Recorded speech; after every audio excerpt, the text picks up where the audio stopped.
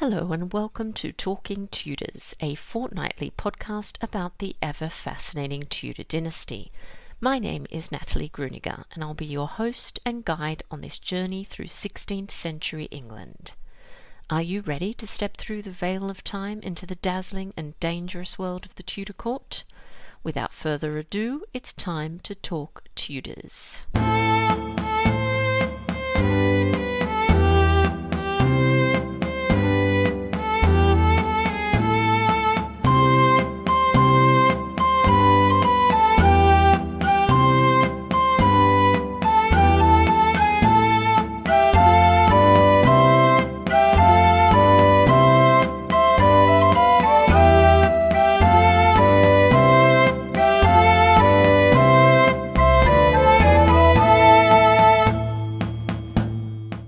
Everyone, welcome back to Talking Tudors, episode 63. I'm your host, Natalie Grueninger, and it's great to have your company. Before we dive into this week's episode, I'd like to thank the wonderful patrons who continue to support this podcast and welcome patrons who joined the Talking Tudors family in January. A warm welcome to Sanchez, Rebecca, Marie, Jess, and Sarah. I'm so grateful for your generosity. If you love Talking Tudors and would like to show your appreciation and support the work I do, just click on the Be My Patron on Podbean badge on the homepage of my website, www.onthetudortrail.com or click on the Be a Patron button on the Podbean app. Join the Talking Tudors patron family and you'll be automatically entered into our patron only monthly giveaways. February's prize is a copy of Uncrowned Queen, The Fateful Life of Margaret Beaufort, Tudor Matriarch by Dr. Nicola Tallis. Thank you to Michael O'Mara Books for sponsoring this wonderful prize. Now, on to today's episode. I'm thrilled that joining me on the show today are Peter Sayer and Alan Sharpington. Pete and Alan are the education officers at the Golden Hind, a full scale and fully operational reconstruction of Sir Francis Drake's iconic ship. Just like the original, the reconstruction has circumnavigated the world and now serves as a museum on the south bank of the River Thames in London. Pete and Alan both come from a background in history, heritage, education, and theatre, and are passionate about bringing the story of Drake and his crew to life. They've spent the past year and a half delving into Elizabethan maritime history and getting to know what life might have been like on the cramped decks of a 16th century galleon. My conversation with Pete and Alan straight after this short musical break, courtesy of guitarist Jon Sayles.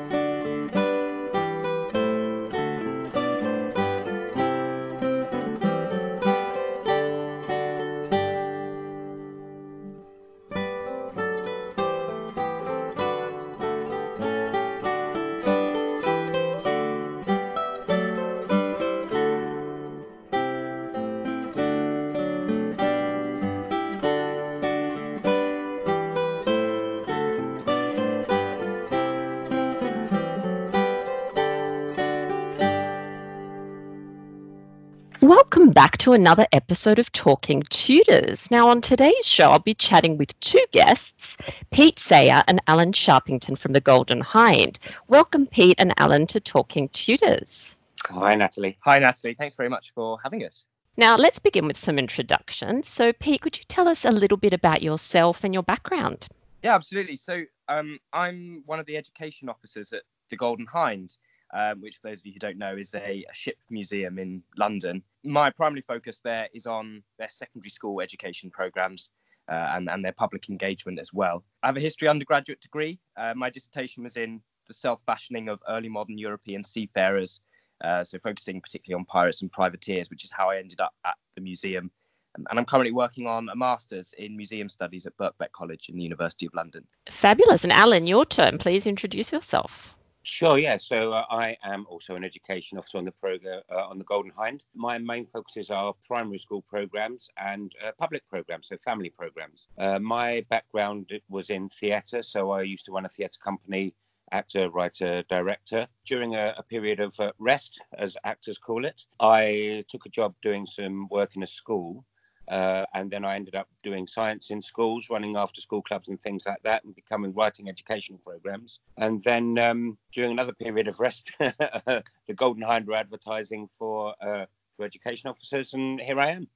Fabulous. All right, let's let's talk about the Golden Hind. So it's a full-scale and fully operational reconstruction, as you said, of Sir Francis Drake's ship. Now, for our listeners, maybe who haven't had a chance to see any pics of it yet or don't have much info, Pete, can you tell us a little bit about what it looks like and what it was like?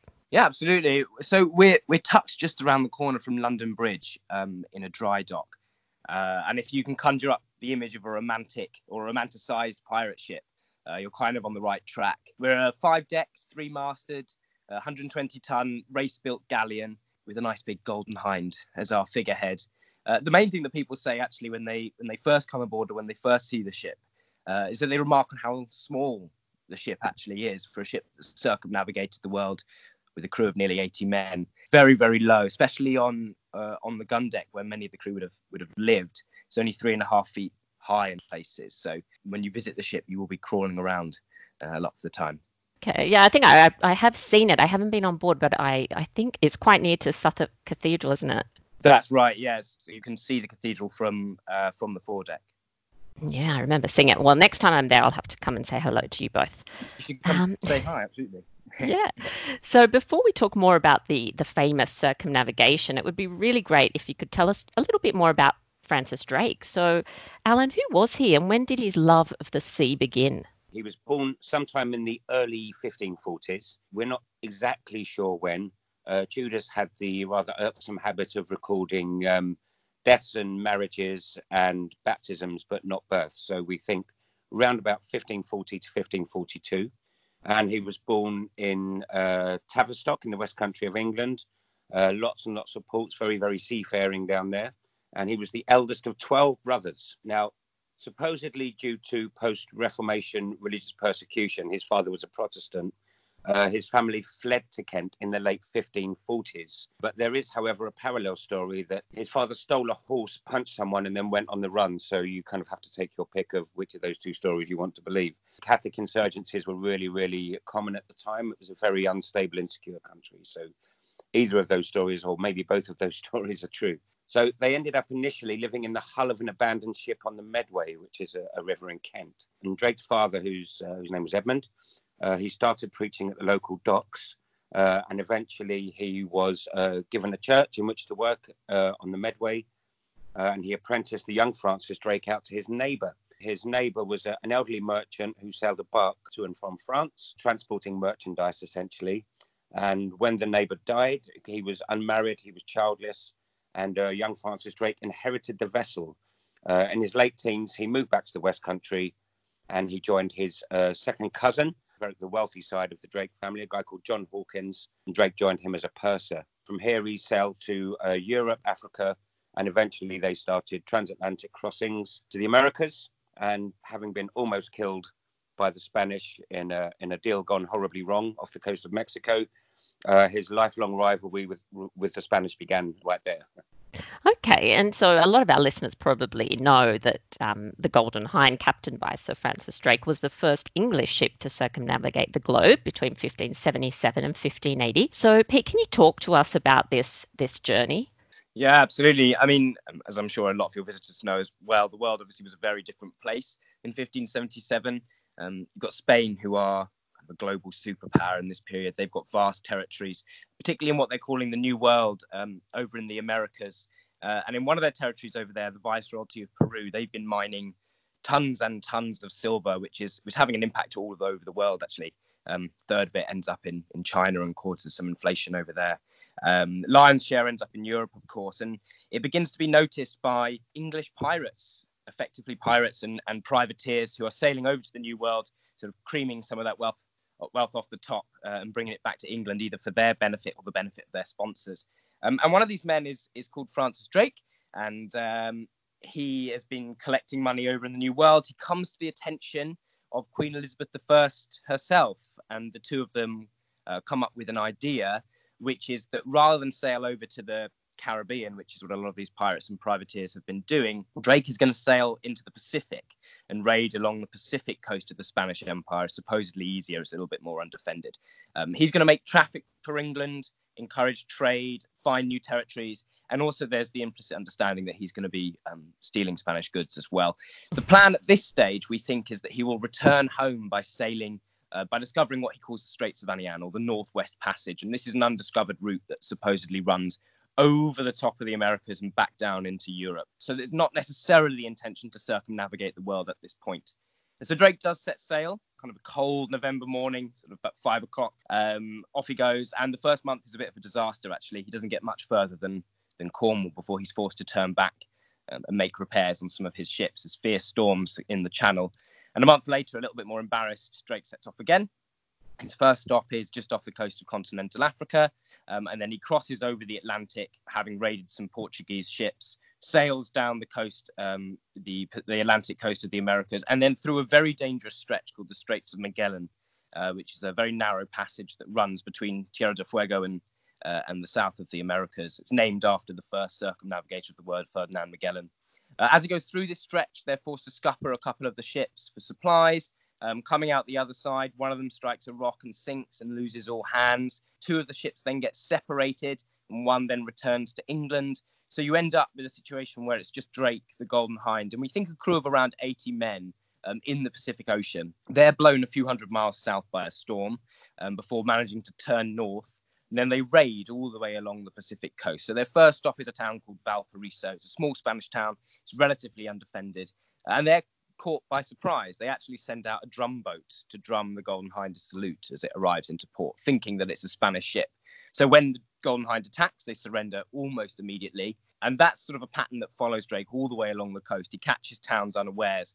And eventually he captures a Spanish treasure ship. It's called the Nuestra Senora de la Concepcion, which has tons and tons of silver in its hold. And then with the ship laden with treasure, he sails north and he tries to get through this northwest passage, but he can't find it. Um, there are reports of it getting so cold aboard the ship that things start to freeze. So he's forced to turn south. Um, and then he lands somewhere, we think, in modern day California. We're not sure exactly where. And um, wherever it is, he says he puts a plaque down that says Nova Albion or New England. So he claims the land for Queen Elizabeth. Um, and then, aware that the Spanish are waiting for him in the south, he nips across the Pacific Ocean. Takes him 68 days to reach the Spice Islands, where he trades with a king in the Spice Islands, a man called the Sultan of Ternate, and then sets off again through the Indian Ocean, round the Cape, and back to England. Wow, what an incredible adventure! Why haven't we seen a feature film about all that yet? so, We're working on it. We're working on it. You're working on it. Okay, good.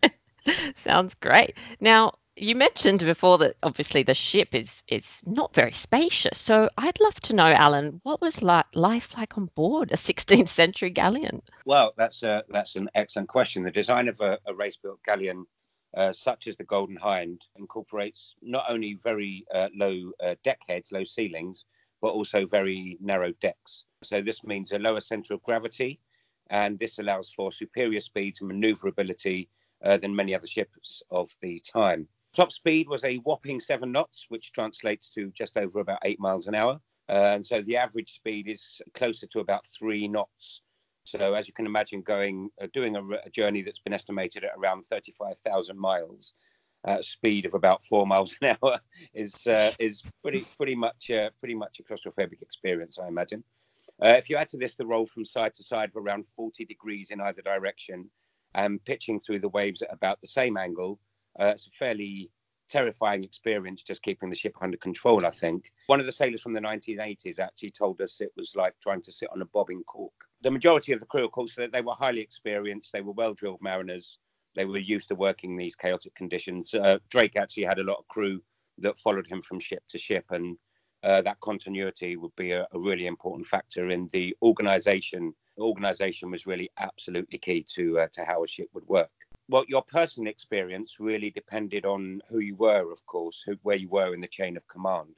So, with the captain at the top, of course, uh, he is literally, and uh, uh, he has cabin right at the top because he needs to be in terms of status higher than everyone else. He also needs to be uh, closer to God. And uh, his position as captain was completely unquestionable and uh, motivated, of course, by profoundly religious beliefs. Drake believed that as the Queen was appointed by God and he by the Queen, uh, then he was by proxy an appointment from heaven. They would quite often have seven or eight sermons a day on board the ship, and Drake was uh, not averse to shoving the chaplain out of the way and sermonizing to the crew himself.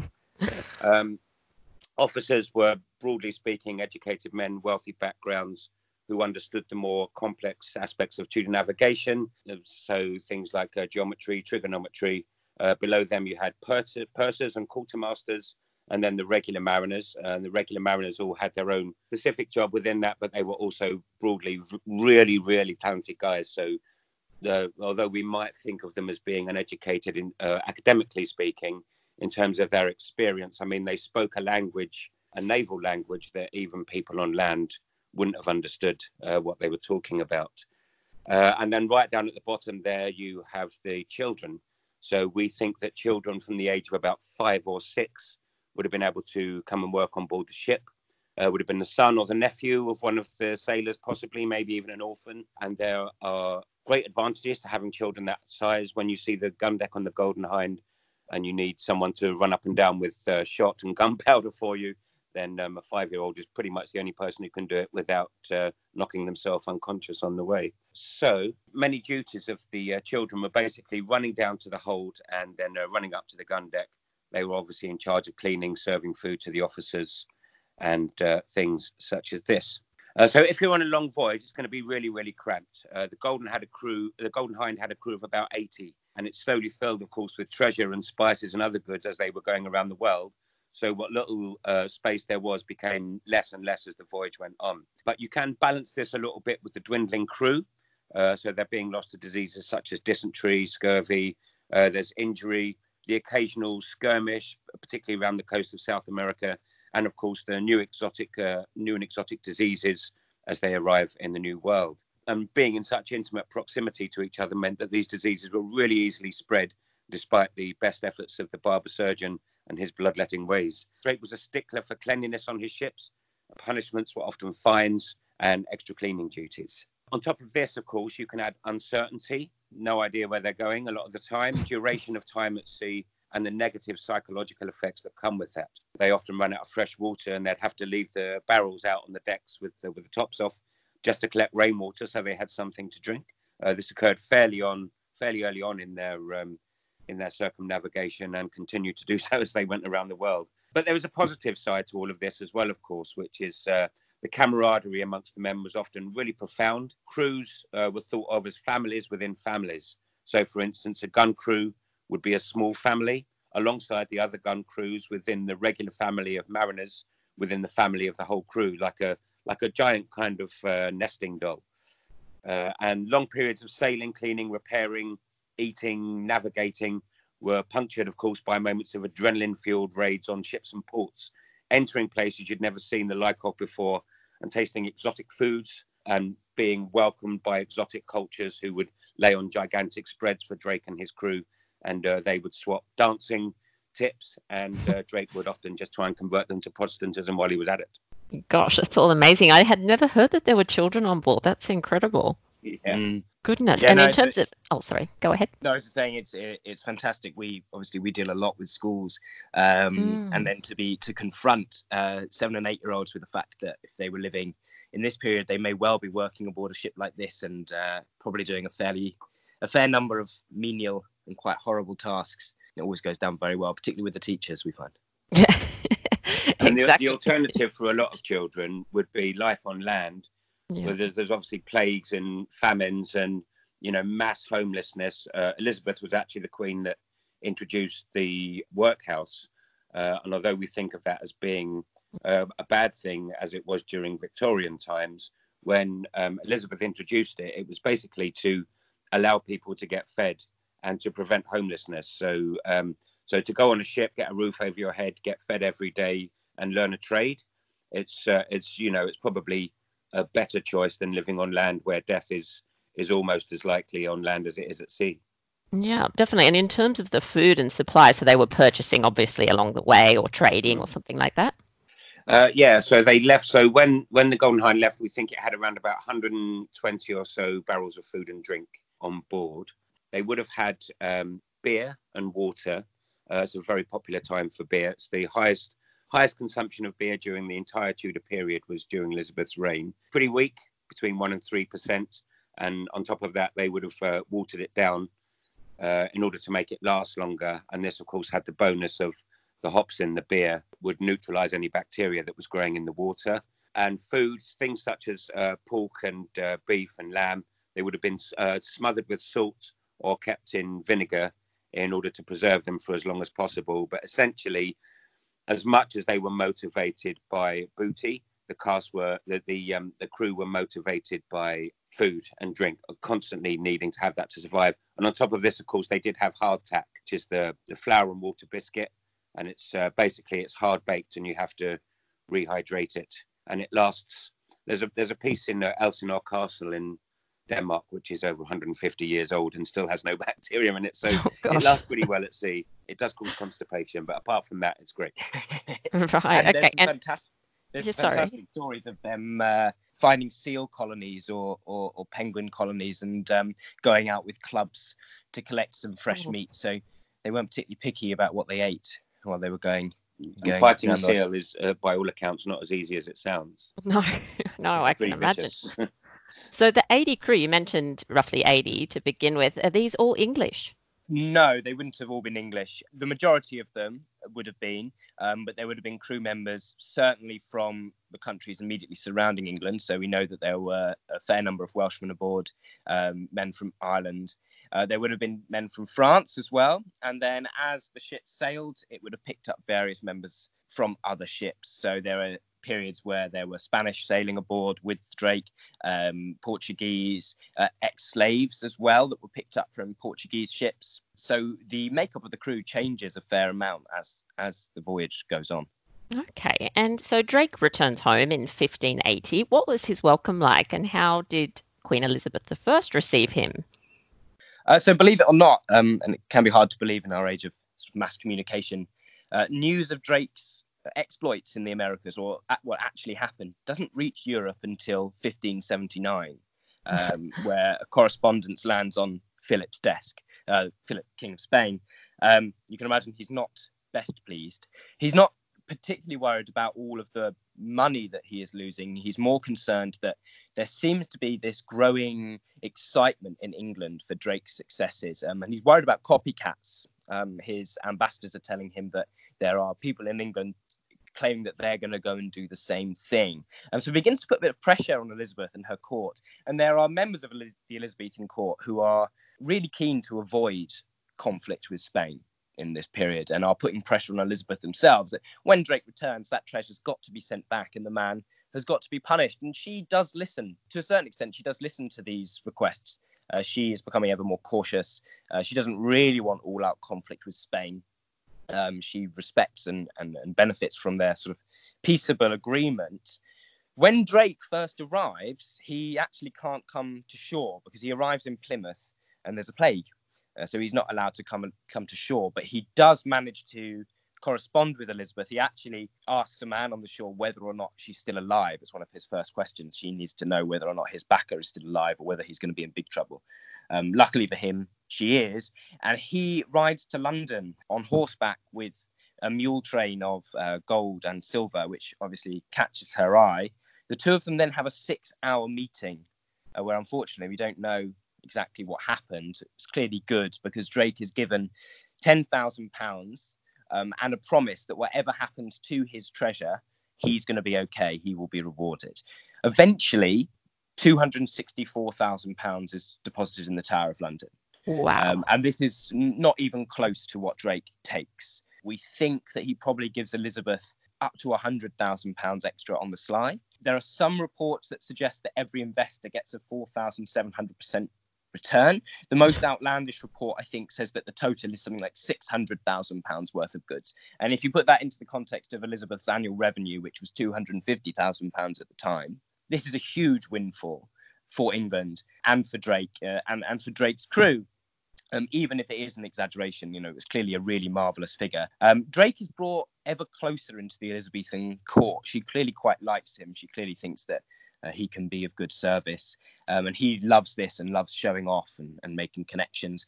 Uh, and in April of, eight, 1581, he brings the Golden Hind to London. He sails it down the River Thames to Deptford, um, and there's a bit of a ceremony where Elizabeth comes aboard the ship. And supposedly the crowds were so large that the small rickety wooden planks that were connecting the land to the ship collapsed, and lots of people fell into the mud, and it was all very funny. Um, Elizabeth at this point then loses her garter, and the French ambassador who's with her has to run and pick it up, and she puts it back on and promises it to him as a keepsake after the ceremony is over. So there's clearly a, an air of jollity about the whole thing. She then raises a sword above her head, threatening to chop Drake's head off for being effectively a pirate, um, and then passes it to the French ambassador and says to him, uh, uh, "Why don't you knight this man?" and make him Sir Francis Drake. And this is a big deal at the time. Um, being knighted as a commoner was fairly uncommon. Um, it would have been noted at home and abroad, this sort of great honour that was bestowed on Francis Drake, who continued to grow and grow in, in rank and prestige and throw sort of Gatsby esque parties aboard the Golden Hind and give out gifts and, um, and, and move up in the Tudor world. How fabulous. This story just gets better, I think. Goodness. so so the ship's now in London, as you said. So Alan, what happened to the original ship and when was the, this full scale reconstruction made? The original ship, I think originally was about two or three miles down the river from where the new ship is uh, in Deptford. It was put into dry dock uh, and people came to visit and they would queue for hours. And actually, interestingly, someone remarked to us fairly recently that going to see this ship that had sailed all the way around the world must be like going to the space center now you know seeing this mm. amazing thing that's being places that's been places that you can't really comprehend. So it was really really popular but then 20, 20 years later we found a report that describes the ship as looking like an emaciated skeleton. So obviously at some point uh, public uh, public memory possibly through a change of monarchy you know public memory for that has kind of waned um, and we know that by 1662, it pretty much rotted away and was broken up. Uh, and the majority of the wood was believed to be buried in Convoy's Wharf, which is an old Tudor shipyard around there. And uh, they did take some remaining pieces of timber, some of the good timber, and it was made into a chair by a guy called John Davis, who was the keeper of Deptford's naval stores. Uh, and this chair now sits in the Bodleian Libraries in Oxford University. Uh, you can visit, you can go in the in the library and look around. There's also one of uh, Sir Christopher Wren's doors right next to it, so you can uh, you can get two for one there. And it has a rather lovely poetic tribute to the ship carved into a tablet hanging from the back of the chair as well that was written at the time. And it's quite beautiful because it is actually an ode to the ship rather than an ode to uh, to Drake himself. So the current ship was designed by um, Californian naval architect, a guy called Loring Christian Norgaard and he spent three years meticulously researching the design based on uh, drawings, descriptions of the original Golden Hind and other ships of the period. And he was commissioned by a company that was specially formed, the Golden Hind Limited of San Francisco. And it was a company formed by two guys, Albert Elledge and uh, Art Baum. And they were both guys with uh, deeply uh, invested naval interests. Uh, and as the 400th anniversary of the circumnavigation approached, they wanted to celebrate this great achievement uh, including his landing in the California area. So uh, the ship was commissioned, it was researched, and it was laid in 1971 at Hinks Boat Yard uh, at Appledore in uh, Devon in the West Country of England, and then uh, completed in 73.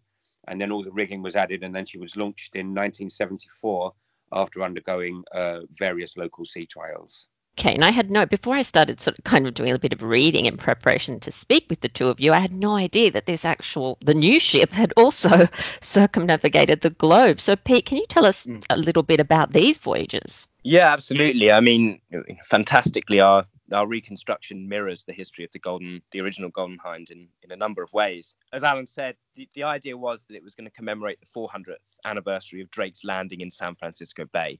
Uh, most historians now will tell you that probably not where he landed, but that's the idea. Um, so it leaves Devon, um, and amazingly, it, it, doesn't have a mothership.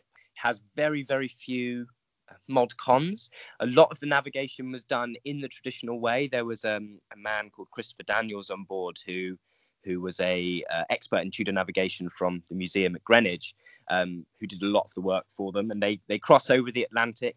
They go through the Panama Canal rather than go around the Cape, perhaps unsurprisingly, uh, and then they go up to San Francisco. Then the ship stays in San Francisco for a little while. After quite a grand welcome, it stays and, and tourists come and have a look. And then eventually it goes over to Japan, where it serves as a film set for a little while, um, and then back through the Indian Ocean, through the Suez Canal, through the Mediterranean, back to back to Scotland, um, where it sits and is picked up by its current owner now, uh, who is captain of it.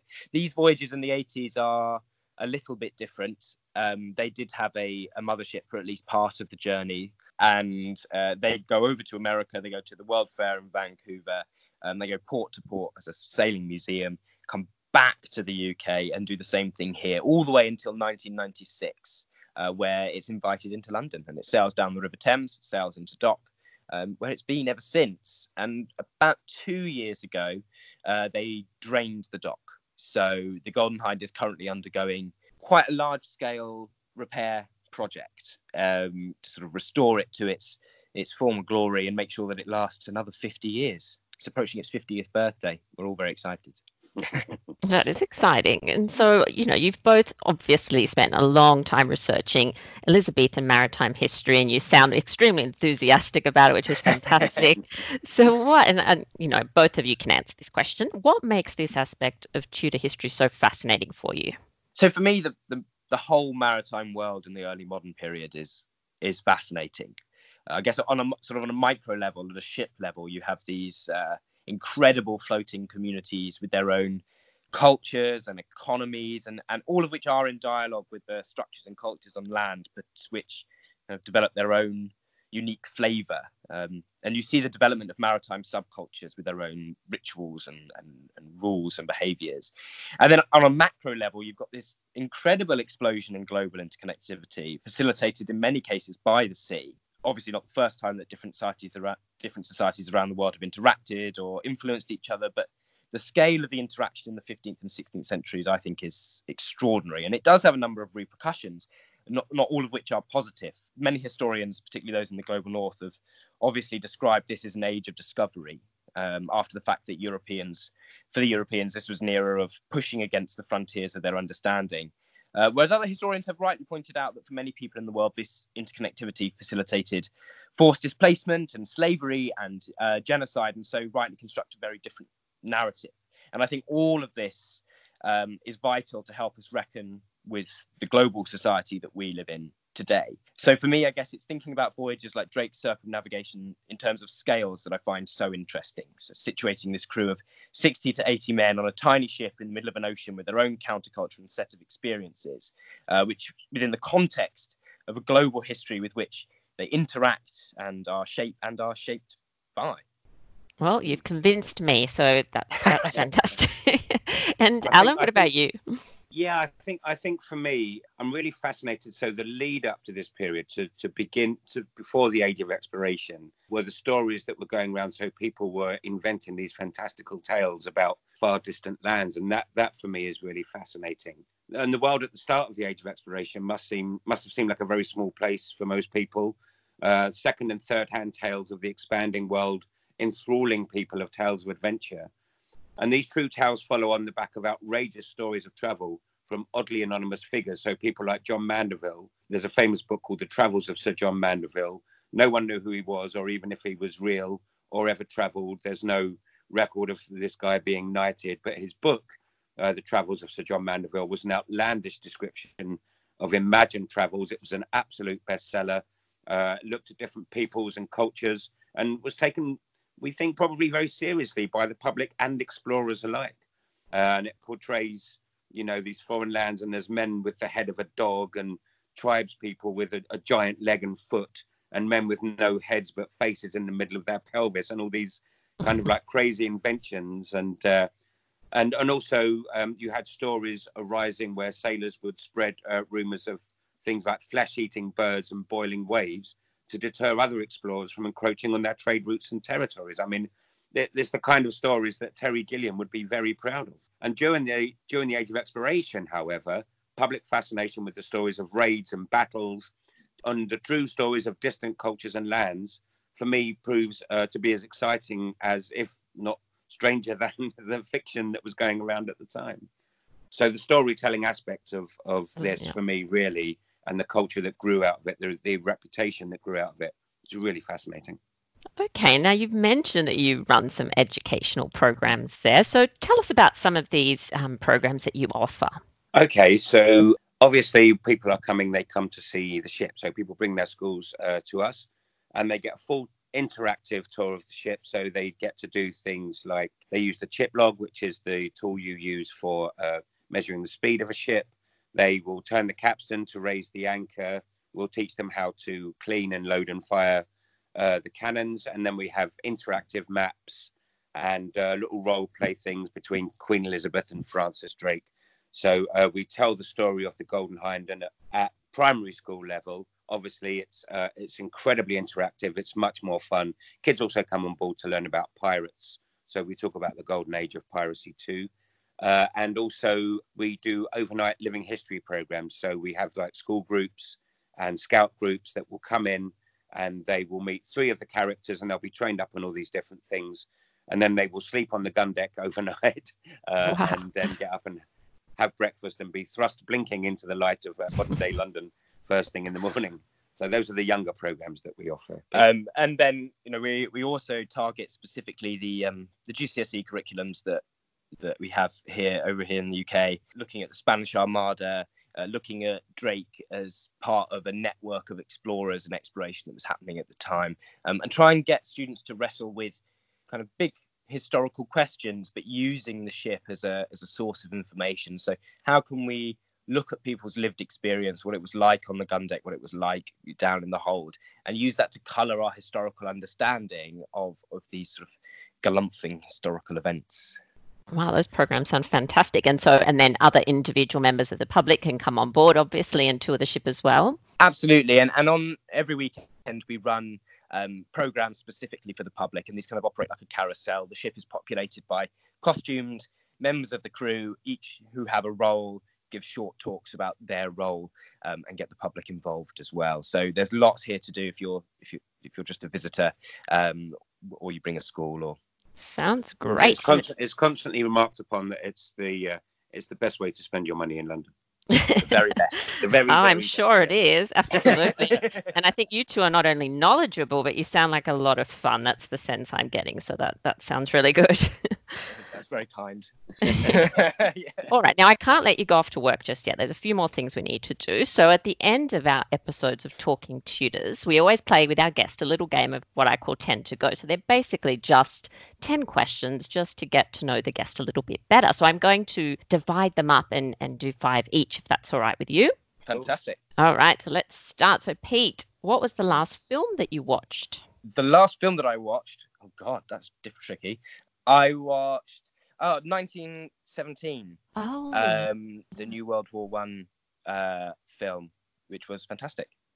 Yes, that's on my list. I'm ho- hoping to watch that in the next week, actually. Yeah. Um, Alan, what's an inspirational place to visit for you that's close to home? Well, I'm obviously a little bit of a museum person. I'd have to say, if you have already visited the Golden Hinde, then I highly recommend for your second choice that you should go to the Imperial War Museum.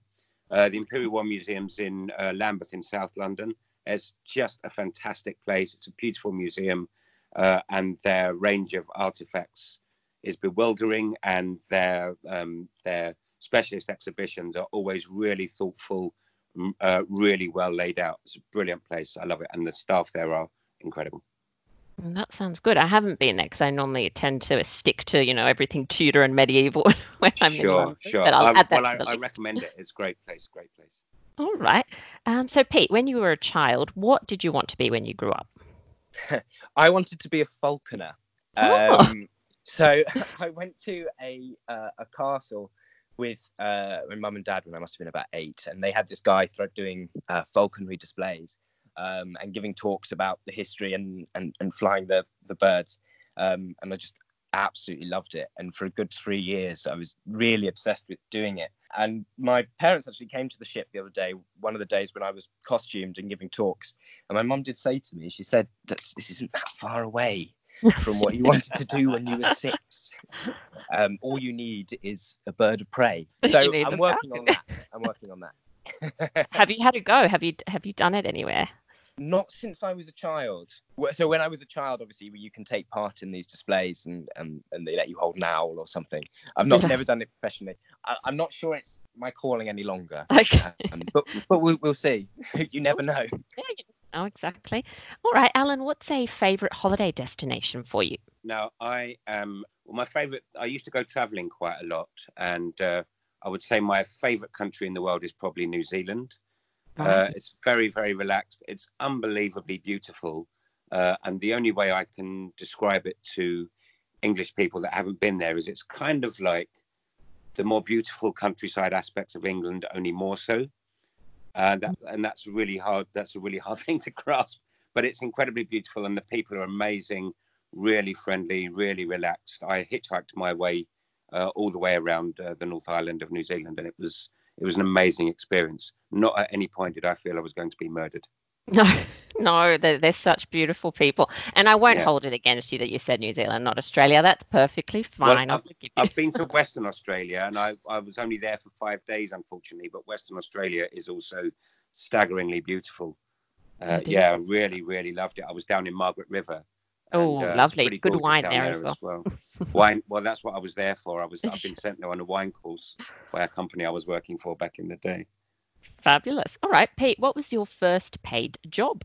I used to teach younger children theatre um, drama on a Saturday. So when I was much younger, I used to go to a theatre, uh, a Saturday theatre class for all different ages. And as I got older, I then started to work work doing that. And Alan, what's a favourite childhood memory of yours? Oh, that's can I be really boring and say I really remember going to the Imperial War Museum?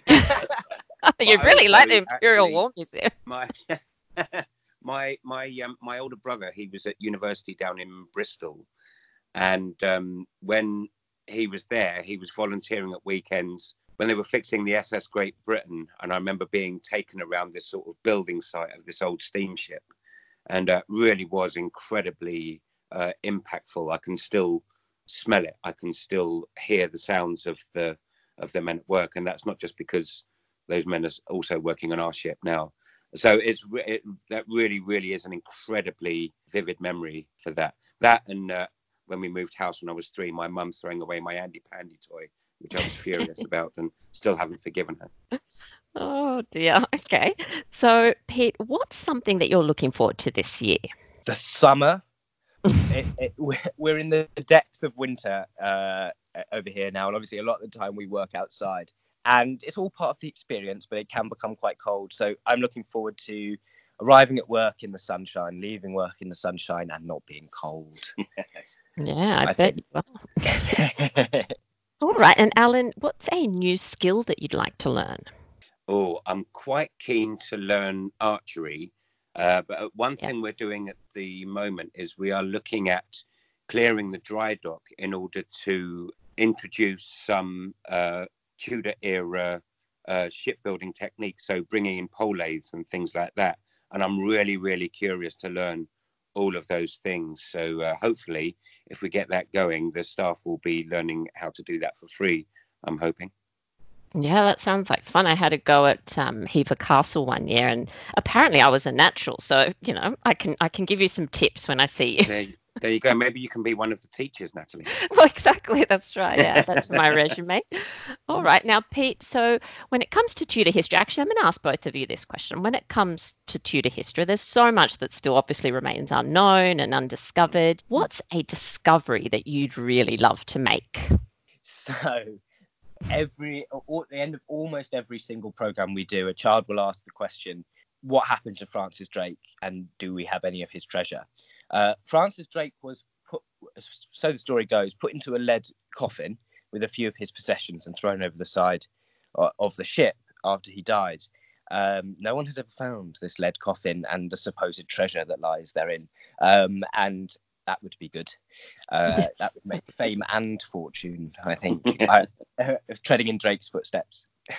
Love it. Fabulous. And Alan, what about you? So I think for me, so a lot of the records that Drake kept, so his diaries and his paintings, were locked away in the tower. Um, and then a mysterious fire destroyed destroyed lots of his paintings.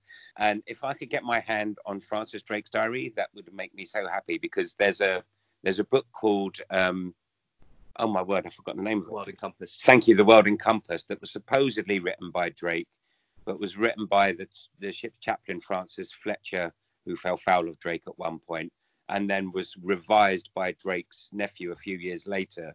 So it's gone through uh, quite a lot of different stages. So, and uh, there's very little that actually describes the parts of the, the circumnavigation that are the details I want to know.